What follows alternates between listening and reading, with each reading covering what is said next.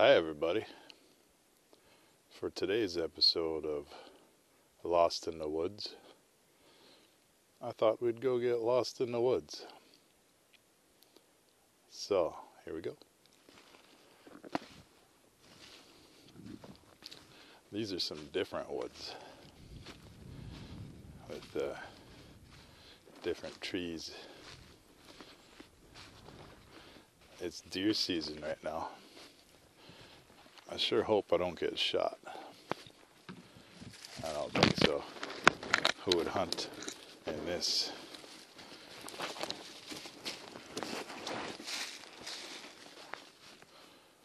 But today, I thought we could talk about conspiracy theories.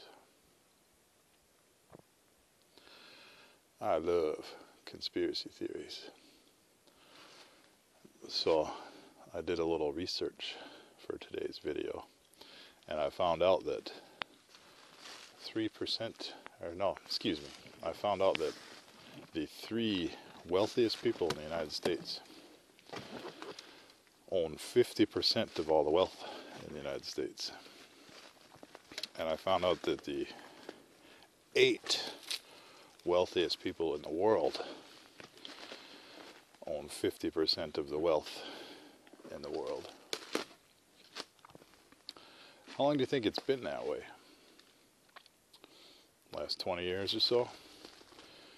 Where just a few people have all the wealth, most of the wealth, or at least a very sizable portion of the wealth?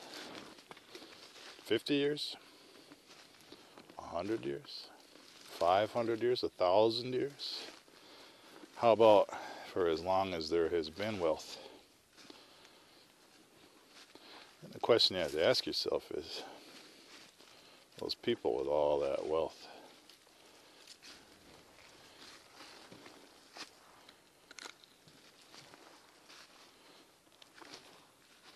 Do you really think they don't have a plan? See, with wealth comes power. And power only does two things it tries to get more powerful and it tries to preserve itself. So, well, hey, wait a minute. Man, is that, you know, I've heard about these. You guys seeing this? Yeah, I've heard about these before. I didn't know. I kind of thought it was made up. Check this out. Up here. Yep, there it is. Oh. Look, Busch Light tree. Oh man, perfect. This is really gonna hit the spot after that pickled egg I had with my lunch. You know, it's a good idea to always keep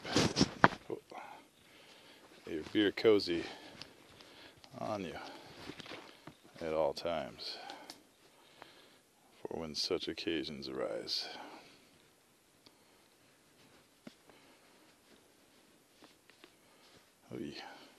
Note to self, kids: put eh, put beer cozy on, then open beer. So, where were we? Yeah, planning. You really think that CEO that struggled and worked and fought and schemed and backstabbed his way to the top of whatever country company he's running? You think he's just gonna say, "Well, I made it.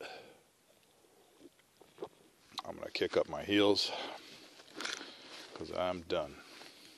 I'm in charge now. Nothing else to do."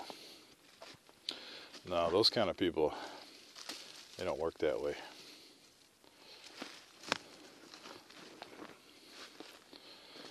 So, when you get into conspiracy theories, you're really just wondering about what those people in charge what are they up to? What is their plan? Try to figure out what it is. and you'll you'll find some things. Some conspiracy theories are silly. Those are the ones that probably aren't true. Generally speaking, the more entertaining a conspiracy theory is, the less likely it is to be true. Not always the case. That's a good rule of thumb. Oh, I like this thick stuff. Yeah, let's go in there. maybe not. Uh, for example, the uh, theory that the Republicans are behind global warming because they want sea levels to rise and flood out the coastal towns, which are predominantly Democrat. That's pretty funny. Probably not true. Or the theory that uh, Donald Trump is a time traveler. That one's really entertaining. Uh, theory goes that uh, when Nikolai Tesla died, the government needed somebody to go through all his papers. And who went through them but was none other than Donald Trump's uncle, John Trump, who uh, found plans for a time machine. Now, what's interesting about that theory is that it is corroborated by a book by a guy, written by a guy that lived in Nikolai Tesla's time, and it was about a guy named, or about a Baron Trump that went to Russia, and uh, there was also, I think the book was called The Last President, even. I'm not sure about that, but there was supposedly an election and riots on Madison Avenue. So, that conspiracy theory, oh, it's entertaining. Probably not true, because let's not forget, uh, time travel is not possible. Well, in that kind of sense. We are all traveling through time at the rate of one second per second. So, in that sense, time travel you can't stop it. You, you're going to travel through time whether you like it or not. Well, you know what I mean. Some conspiracy theories, I think, are just meant to trick you. If you spend any time looking into conspiracy theories, you're going to hear about David Icke. And he talks about shape shifting lizard people. Now, I don't think shape shifting lizard people are a real thing. But I have met some shifty people, and I have met some cold hearted, or you might say cold blooded people, which is what lizards are. So, in a sense, I have met some shape shifting lizard people.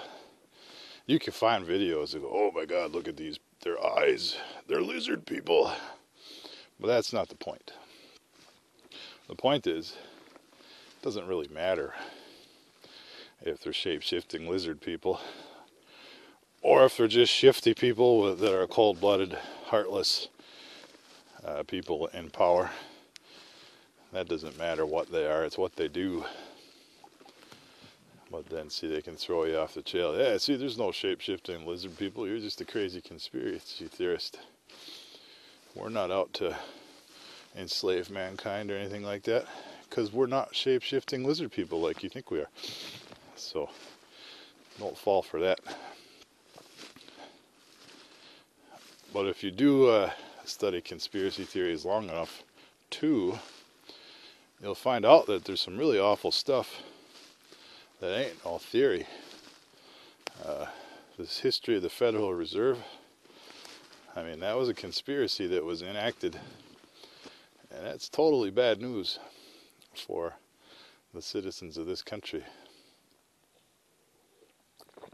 Our money used to be worth a lot more than it is now. You can thank the Federal Reserve for that. Some other conspiracy theories that are true uh, Operation Mockingbird, totally declassified. our CIA admitted it in public that they have operative operatives uh, disseminating fake news in other countries. And uh, President Obama signed a law that used to be illegal for our government to propagandize us. Well, Obama changed the law, so now it's totally legal for the government to propagandize us. Hey, that looks like a road over there. I don't think I'm lost anymore. It's the neat thing about the woods. You can only go so far in until you start to come out. Uh, MK Ultra totally declassified.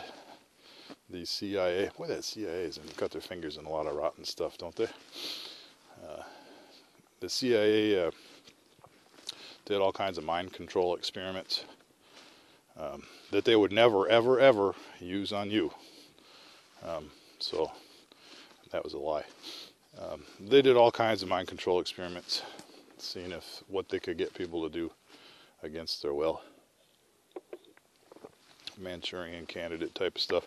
This has all been declassified, folks. This is no conspiracy theory. But uh, makes you wonder about these flat Earth people that kind of discredit conspiracy theorists because they're conspiracy theorists. And those guys look like idiots. I met a flat earther one time.